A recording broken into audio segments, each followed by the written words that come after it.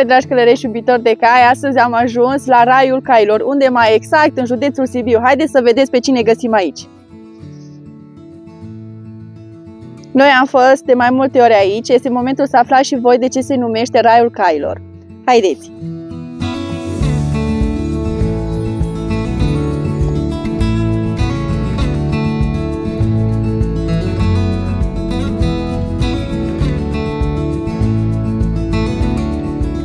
Dacă noi am fost de foarte multe ori aici, nimeni nu spun toată povestea acestui domeniu frumos. Îl avem alături de noi pe domnul Sorin Popa, care o să ne povestească. Bună ziua! Bună ziua! Mă bucur că ne revedem. Ne bucurăm și noi. Ce faceți? Am venit în vizită aici la domeniul acesta foarte frumos, să aflăm și noi toată povestea. Înainte să vă spun toată povestea, aș vrea să vă arăt cărnuții și în timp ce vi arăt, mai și povestim despre ei. Haideți să, Bine? să vedem cum să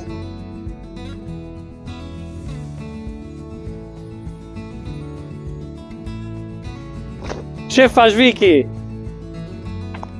Ai venit la cai? Hai să-ți prezint pe cineva. Uite, ea e Alexandra. Alexandra, sunt fanul tău numărul 1. O bun te cunosc eu. Abia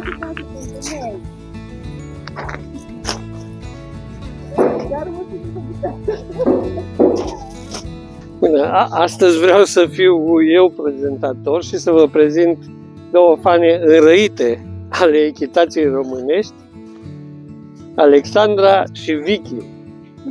Mulțumim! Amândouă sunt două vedete numărul unu pe TikTok în prezentarea cailor. Mulțumim tare mult! Alexandra, astăzi vreau să-ți prezint uh, vedeta uh, Raiul Cailor. E un armăsar pur sânge arab, campion european și campion al Braziliei. El se are 13 ani și i-a dus din Brazilia. Ultima dată el a fost în Brazilia, a fost campion național al Braziliei la show. Are vreo 3000 de urmași Wow, super! și doar avionul a costat 20.000 de euro să-l aducem în țară. Da, acum să știți răsfață, da? Acum ne, își face un pic talentul. Și-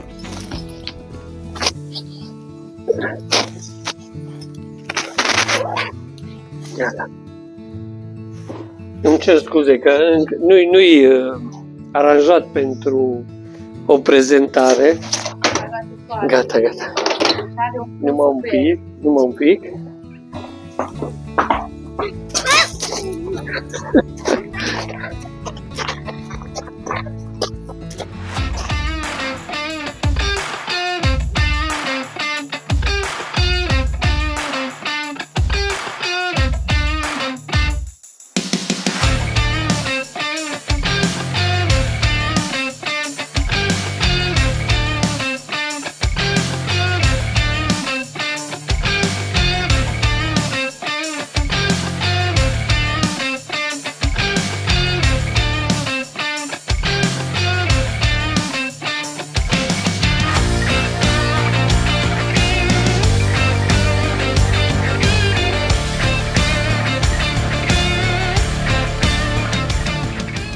Tatălui a fost uh, QR Mark, un multiplu campion mondial la show.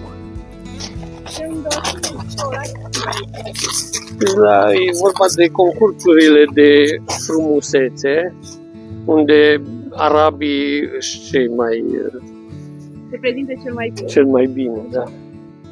Se mai fac concursuri de frumusețe și cu alte rase de cai, dar de aici au pornit uh, acest tip de concurs. Apa? Hop, hop, hop, hop, hop. Hop. Alexandra, aici avem uh, doi, uh, doi cai de trăsură. Ea e Sara, e lipitan, pur sânge și el e Fred, Uh, numele lor real nu e ăsta, ei au pedigree de, de Ungaria, de sunguri. I-am luat special pentru trăsură și dar nu-i scoatem astăzi, o să-i scoatem în altă zi când mai veniți și o să mergem cu trăsura la uh, Capana Racovița, e undeva la poalele munților. Acolo o să facem un alt episod unde o să fii condusă cu trăsura ca o prințesă. Abia așteptăm să mergem. Da.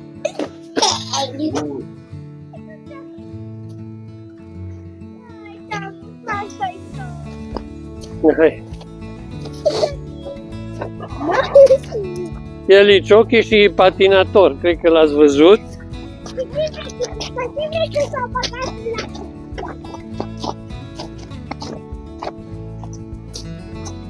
Aici o să mergem la cel de-al doilea graj, unde mai avem niște căluți. Deci aici uh, avem 20 de căluți. Aici avem secția de cai de sport. Toată, toată nebunia asta a început acum vreo 8-9 ani și prima, prima fermă pe care am dezvoltat-o a fost ferma Zorabia, unde împreună cu asociatul meu și prietenul meu bun, Marius Dumitrescu, am, uh, ne-am cumpărat noi primii căluți.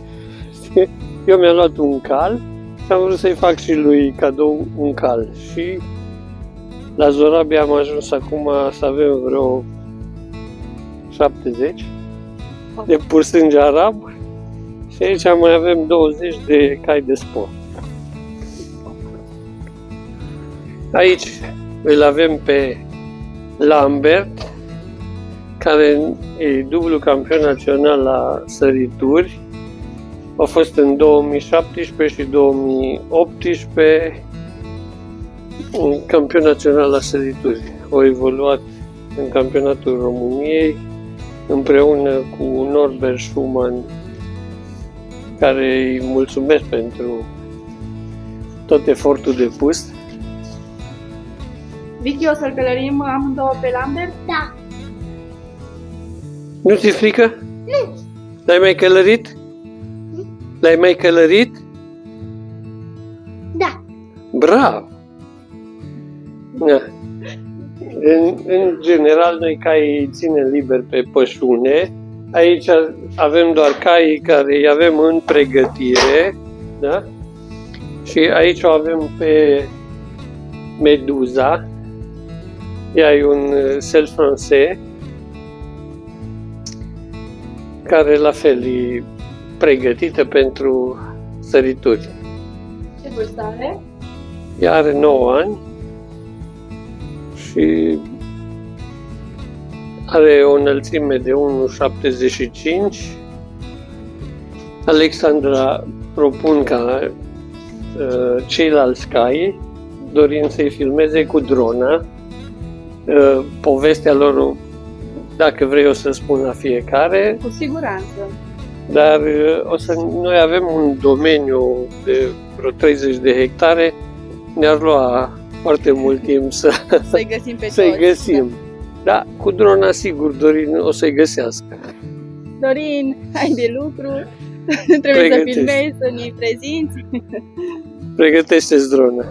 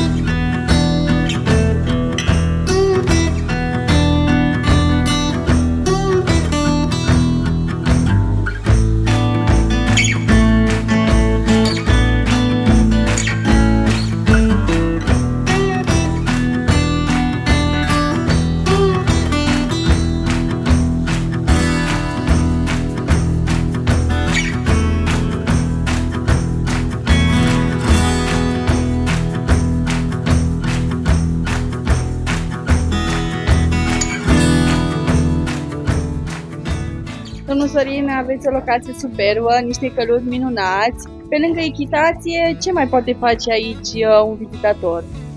În primul rând, ar putea să pescuiască, să se bucure de natură și după ce s-o îndestulat cu echitația, cu natura, cu pescuitul, poate să putem uh, în general, în general uh, facem traininguri cu, pentru firme, mâncăm și putem să ne și îmbătăm. Aici a fost o șură și atât s-a putut. Atât am putut amenaja aici, știi? De aici dăm uh, startul petrecerii știi? Când am sunat clopoțelul, vine ospătarul.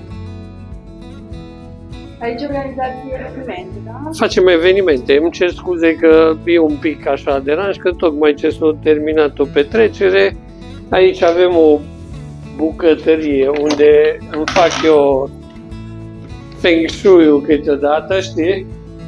Facem o pită picurată cu scule profit. Mai facem o pâine în cuptor, un curcan la tavă, tot ce Înseamnă că știm unde să venim dorim, să mâncăm uh, o pâine făcută direct la cuptor. O pomană porcului. Pomana porcului. Cred că m-am hotărât și cred că o să mă mut la Sibiu. Oricum, în ultima vreme suntem cam în fiecare săptămână pe la Sibiu. Dacă Mai te, un loc aici? Dacă te muți la Sibiu, e foarte bine. Și dacă te măriți, eu din partea noastră îți oferim locația pentru minunatul eveniment. Perfect. Deja m-am hotărât. Perfect. Da. Aici, în partea de, de sus, o să fie un, uh, un uh, restaurant în care o să poți sta la masă și o să vezi că ai în boxă. Wow, super! Da, încă nu vi-l arăt pentru că vreau să fie o surpriză. Când o să veniți data viitoare, e ceva special. Domnul Sorin, după ce ne petrecem aici, unde trebuie să ne odihnim? Haideți că acum vă arăt și pentru început avem o căsuță, aici o să avem uh, 14 camere și un restaurant, dar pentru început avem o căsuță pentru cupluri îndrăgostite. Mergem să vedem? Da. Asta e căsuța din povești. Încercăm să o să facem și un pod peste lac și dacă se vrea, se poate servi masa pe lac. Te rog să poftești înăuntru. Asta e căsuța piticilor, cum ne-am obișnuit noi să zicem.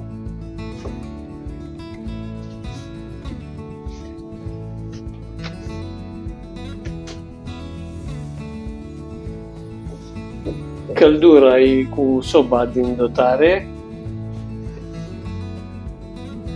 Și aici e camera unde îndrăgostiții își pot petrece o noapte de vis.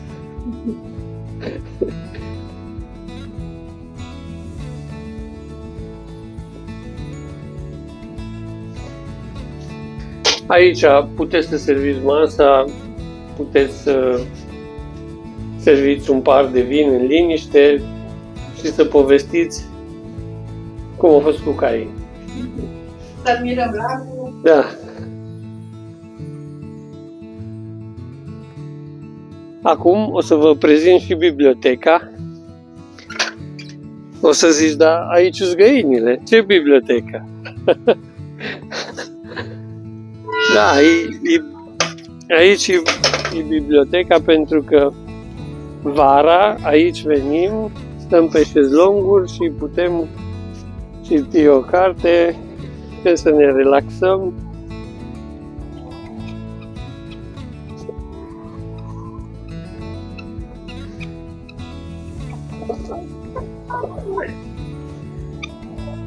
Aici toate animăluțele trăiesc în pace și armonie, semi, semi-sălbatice aici. Singura care e liberă e capriola.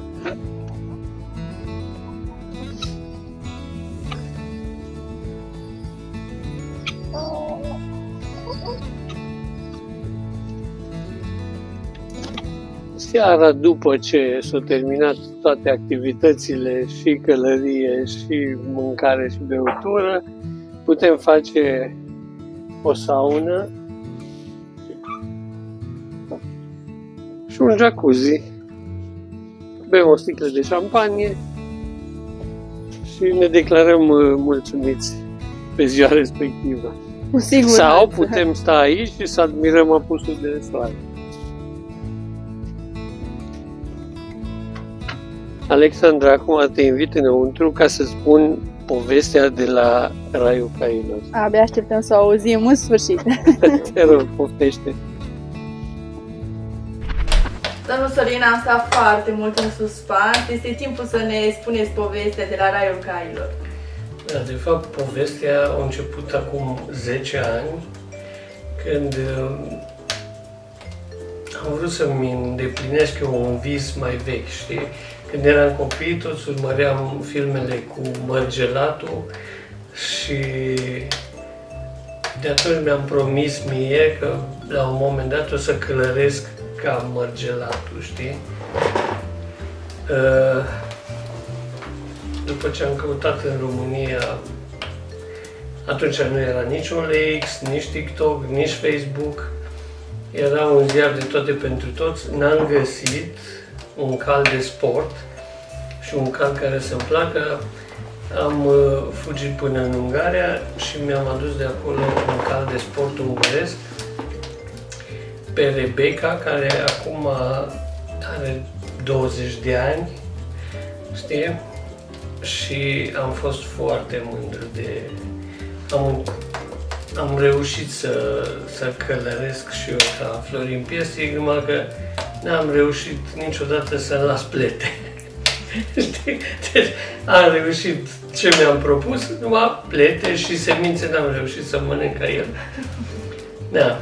După ce mi-am luat eu calul, partenerul meu de afaceri, Marius Dumitrescu, a zis, bă, fain cal, îmi place, te felicit, mi-aș dori și eu, dar da, când mi-a zis chestia asta, am zis, ok, îi cumpăr și lui un cal. M-a închinuit foarte mult, n-am găsit, au apărut uh, târgurile de țară, m-am dus și am cumpărat un cal din târg. Și au zis, bă, da, ăsta nu-i cal. Zim ce cal vrei. Au zis, ca e adevărat, zis că ai pur sânge arab. Habar n-aveam atunci de cai. Eu știam calul e cal, știi? Și am început să mă documentez, să văd pur sânge arab, nu știu ce. La Hergelie, la Mangalia nu vindeau, n-am avut nicio relație acolo, știi? Uh, și am găsit la un tip la Slatina cai pur sânge arab. L-am luat pe Marius, hai să mergem să luăm, să-ți iau un cal, știi? Am luat o remorcă, ne-am dus, el avea șase cai pur sânge arab și n-am cumpărat unul, am cumpărat trei în prima fază, știi? Și după aceea am ținut legătura cu el, i-am luat toți șase. Și așa, dintr-un cal, am ajuns cu încă unul din târg și cu aia șase, opt cai frumoși. da. După ce am luat opt, așa mare și-o zis, bă, hai să, că am găsit eu pe cineva la, la Turda, un doctor veterinar care se ocupă de pus în general, să vorbim și cu ăla, să vedem ce monte facem. La o zis, bă, liniștiți-vă, da, ce aveți voi acum e zero. Cum zero? Când noi ne-am chinuit. Deci dacă vreți să vedeți că ai adevărați, veniți cu mine. So, la, s-a organizat un concurs de show cu licitație în Polonia la Janusz Podlaska, așa, ne-am dus acolo, foarte fain, deci dacă uh, intri pe YouTube o să găsești concursuri de show în Polonia, sunt uh, unii dintre cei mai mari crescători de pur sânge arab. Când am ajuns acolo ne-am trezit cu totul și cu totul în altă lume. Deci noi am fost pentru prima dată uh, recomand la toți crescătorii de cai să se uite la concursurile de show de pur sânge arab. Pur sângele arab îi tata cailor, pot să zic. Din pur sângele arab se trag toți caii, singurul cal care ameliorează orice rasă.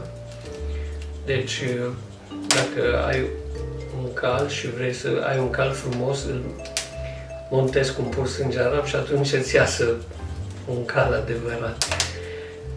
Uh, când am ajuns acolo la concurs, am văzut uh, toată lumea, majoritatea oamenilor erau în tribună, jos lângă manej erau mese cu fețe albe, cu oameni la cravată, filat, nu știu ce.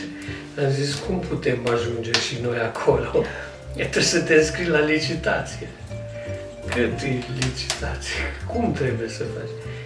te înscrii pe taxa de participare la licitație 2000 de euro dacă licitezi și cumperi un cal, trebuie să-l plătești. Dacă nu-l plătești, pierzi taxa de participare la...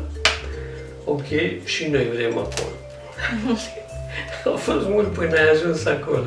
Când te-ai văzut cu paleta în mână, știi, și, da, și noi. Și, și n-am plecat cu mâna goală, am cumpărat primul cal la licitație de acolo. După aceea am intrat în lumea asta, am făcut cunoștință cu alți crescători adevărați de cai pur sânge arab și așa s-a născut uh, Zorabia.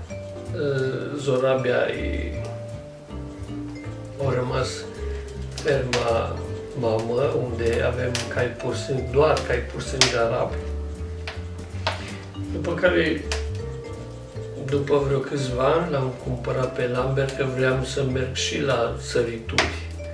În 2017-2018 am cumpărat un cal de sport de sărituri care m-a făcut doi ani la rând mândru, pot să zic.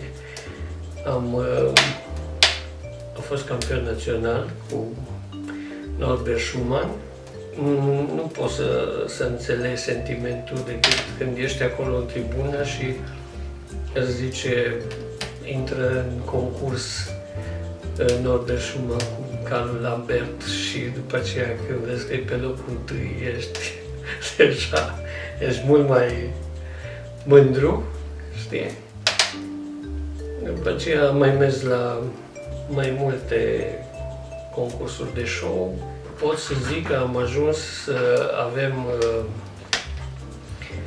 uh, o grămadă de cai pur sânge arab cu un pedigree foarte puternic, deci majorit, majoritatea cailor pur sânge arab ce avem noi au un pedigree cel puțin un campion mondial. L-am tot așa, am ajuns de l-am cumpărat pe primerul care l-ați văzut astăzi, care tatălui QR Mar, care a fost campion mondial.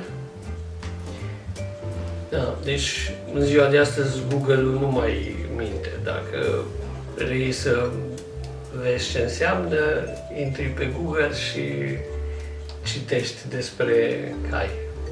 Știi? No, și așa am ajuns la... Avem aproape 100 de cai. De la un cal, doi de la cai, un, da. un cal, doi cai, opt dintr-o dată. și după aceea, în fiecare an am mai montat, am mai cumpărat monte și tot așa. Până am ajuns la nivelul ăsta. Da, după ce totul s-a realizat acolo, în 2020 aici.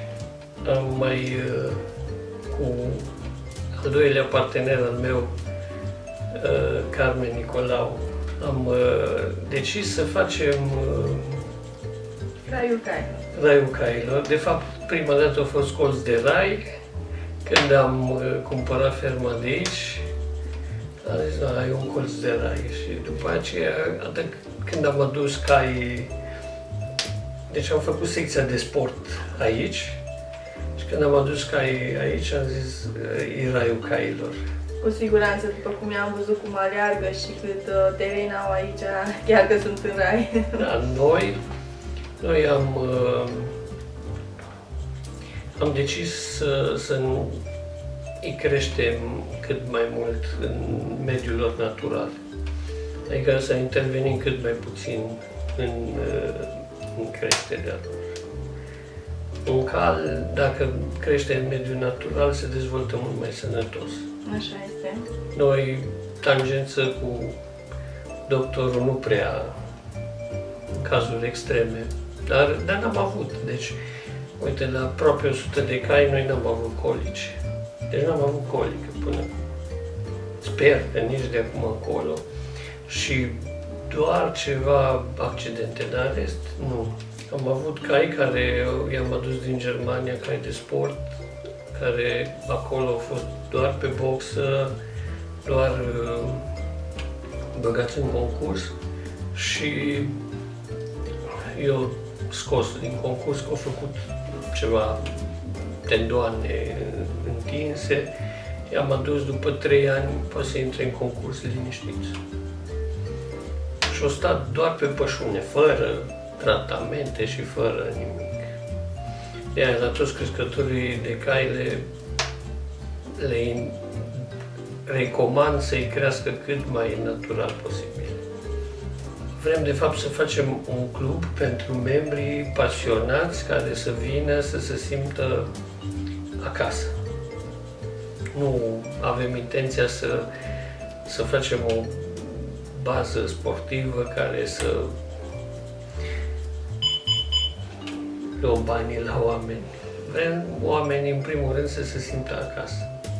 Să vină să se relaxeze. Să vină să se da. relaxeze și să, să se simtă acasă. Să iasă din cotidian.